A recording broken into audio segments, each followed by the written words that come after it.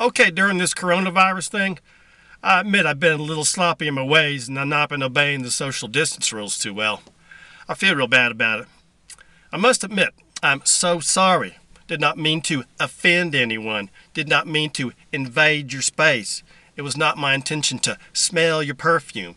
I didn't mean to grab your thigh. I certainly made a mistake when I followed you home. Did not mean to force my way into your house. Wish you hadn't called the cops, but I served my time. I definitely paid the price. I must admit I was a little scared when my cellmate held me down against my will and made me squeal like a pig.